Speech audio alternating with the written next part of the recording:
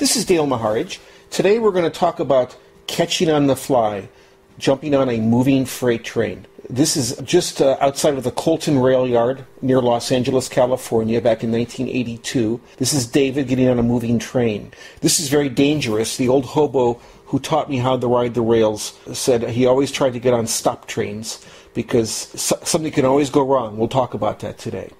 Even though it's dangerous, sometimes you have no choice. The Colton yard had Doberman pinschers in it, so there's no way that David could have gone into the yard. If you're going to be a hobo, there's times you're going to have to jump on the fly. I'm going to walk through, we're going to slow it down here, what you should and shouldn't do. Okay, let's watch David a little slower now. He's, he's moving towards the train. He's making two mistakes here.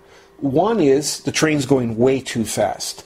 I wouldn't have been comfortable jumping on this train. You should never get on a train that's any faster than you can run. This one was just a little beyond that. And he's also carrying all of his gear in one arm and getting on with the other. The best thing to do is, is throw your gear on, use two hands, then pull yourself up. But I'll bet David feared the train was going so fast he might miss it and he'd lose his gear. Notice the wheel here. The old hobos called them giant salami slicers. If, if David's foot misses, he's going under the wheel, it happens fast, and you lose a leg. Now, when Sam Michael and I caught out of St. Louis, it was going just a little slower than this. I threw the gear on, I jumped up, I helped Sam up, you know, grabbed Michael, got Michael up. That's the best way you're going to do it if you're going to be going on the fly. Get your gear on, get up there, and help your buddies get up.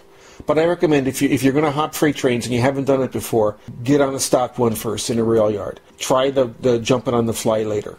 It'll be a lot safer for you.